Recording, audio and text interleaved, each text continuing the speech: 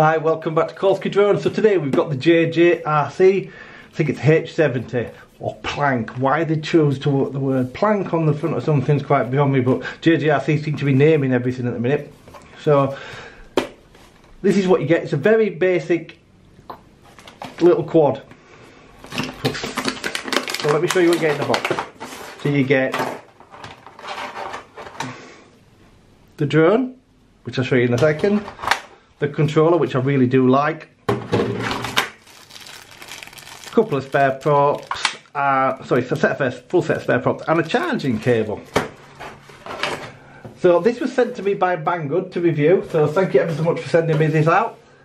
I'll put a link in the description below if you want to purchase one of these.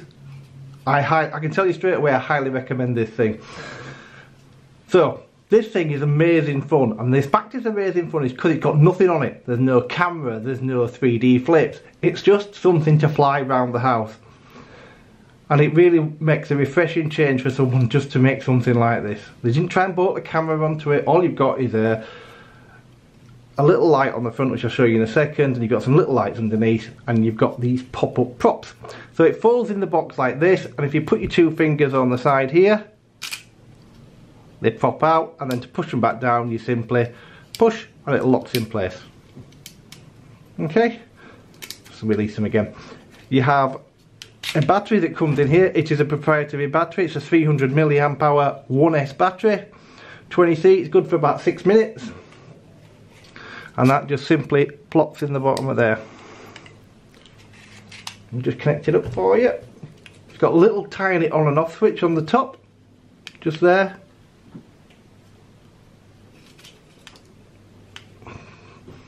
there see the flashing lights on the top and it's got your little LED at the front to turn your controller on.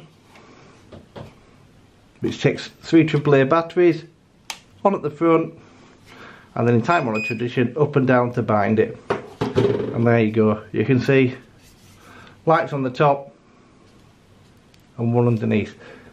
It has on the controller a headless mode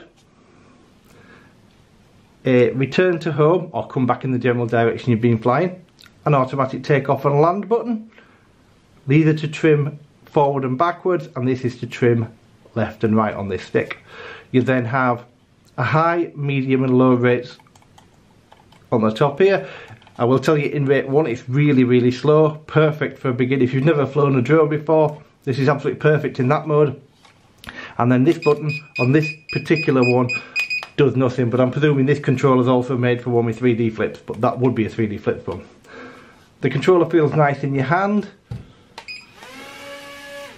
So as you can see, take off and land starts and stops your motors.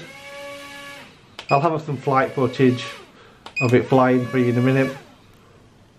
So it has that, and then it is got, it is obviously altitude hold, so the stick center. So it's an altitude hold drone.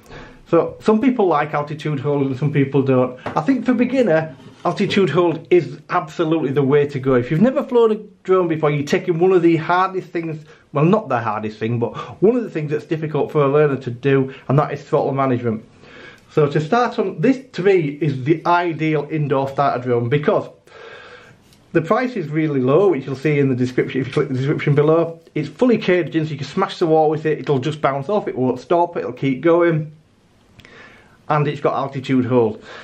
So you don't need to bother with your throttle management, you simply have to get it up in the air, get to the height you want to do, and you're virtually flying with a single stick. All you're doing is yawing with this one, but you're going forwards and backwards, and you can go, you can um, bank left and right with this stick and just yaw with that one. It makes it so much easier, so you can forget about trying to hold it in the air, because it'll stay in the air on its own. To me, it makes a massive difference. So there's not much more to show you on the drone, because virtually that's it. I highly recommend this thing. The cost is fantastic on it. It's tiny, it'll fit in your pocket if you wanted to do.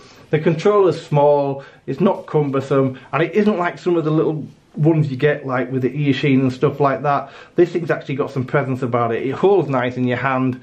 It's a nice thing to use.